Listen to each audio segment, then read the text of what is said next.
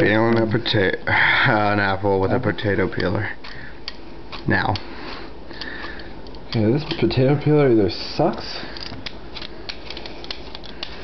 Why don't we just pour barbecue sauce right on it and eat it? Do you ever think of that? Yeah, that might be fast. Okay, okay.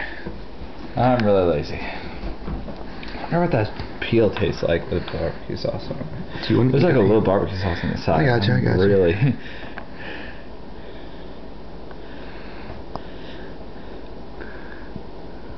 All right. okay. This Alright. is for science. It is.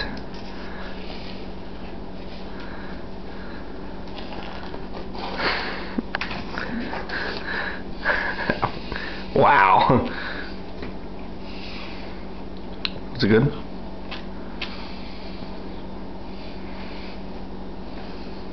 Eh, not as good as a banana. Not as good. You take it or leave it. It's not bad. This makes me really thirsty. For a nice cold Dr. Pepper. But it's not Dr. Pepper.